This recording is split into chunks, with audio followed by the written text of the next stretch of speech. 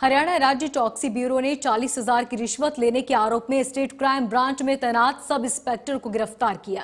दरअसल आरोपी sub inspector Vijendra Panipat में तैनाती के दौरान एक केस में जाँच अधिकारी था और इस केस से एक व्यक्ति का नाम निकलवाने के लिए सब इंस्पेक्टर विजेंद्र ने चालीस हज़ार रुपए की रिश्वत मांगी थी।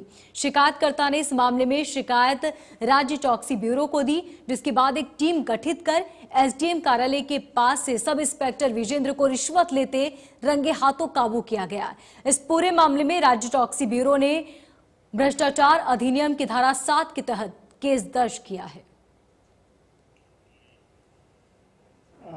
स्टेट विजिलेंस ब्यूरो टीम ने आज रेड करके